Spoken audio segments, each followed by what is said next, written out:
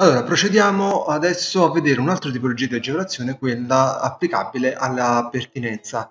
Eh, abbiamo inserito un immobile di tipo oh, categoria C6, abbiamo inserito tutti i dati, i valori, basta semplicemente in questo caso, quando non c'è una prima casa, un immobile principale, prima casa, è possibile andare direttamente in devoluzioni, andare sull'erede a cui è assegnatario dell'agevolazione e quindi applicare l'agevolazione pertinenza prima casa y.